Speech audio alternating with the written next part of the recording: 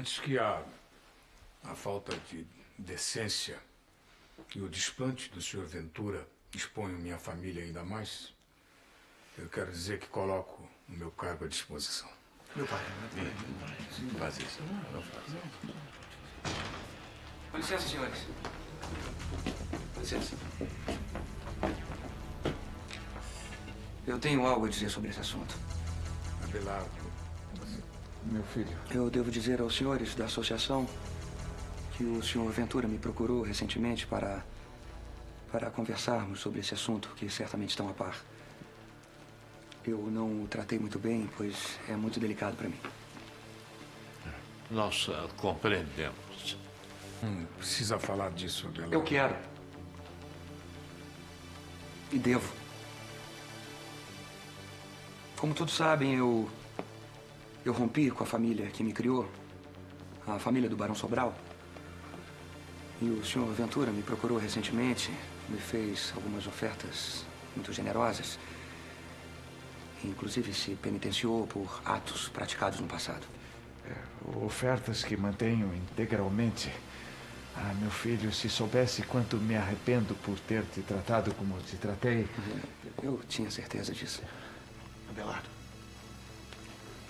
se quer juntar-se ao seu novo pai, faça isso com dignidade. Meu neto Abelardo, eu faço minhas as palavras de Inácio. Por favor, Abelardo. O Abelardo tem direito. E vou usá-lo. Eu tenho de pedir desculpas ao meu pai pelo modo como tratei. Ao meu verdadeiro pai. Não precisava, meu filho, não precisava. Bem, antes eu gostaria de esclarecer alguns pontos. Além das ofertas vantajosas, o senhor jurou que se arrependia pelo tiro que mandou me dar após perder o duelo. Sim, é claro. É, nunca deveria... Muito bem. Então, como está dizendo, na frente de todos esses respeitáveis senhores, mandou-me balear a traição após perder um duelo. Não, é. E se arrepende porque acha que sou seu filho. Se não fosse. É, não, Abelardo, eu não queria. O que me custa entender é como esses senhores tão dignos dessa associação chegaram a cogitar, apenas por algum instante, de entregar a presidência a esse covarde, mestre da emboscada, o que atira pelas costas, que espalha pragas nas plantações dos vizinhos. E não seria necessário nem comprovar nada disso. Bastaria pensar num candidato que se usa de um problema familiar para se eleger. Problema esse que já foi resolvido há muitos anos. Quando meu pai perdoou minha mãe. Meu pai. Meu verdadeiro pai.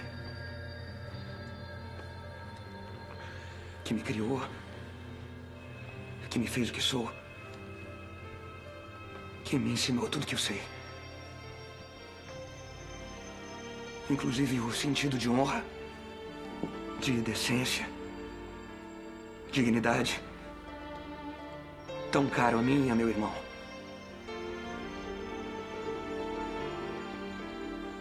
O único pai que conheci. E quem reconheço. E a quem devo desculpas por só ter compreendido tão tarde a grandeza do seu gesto. Escondendo de mim a, a minha origem, é, afinal casual, puramente biológica. Porque nada fará que eu deixe de ser seu filho.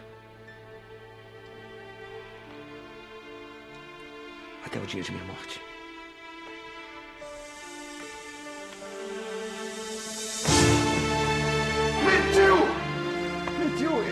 enganou o seu próprio filho e ainda quer ser presidente. É, é capaz de qualquer coisa, hein?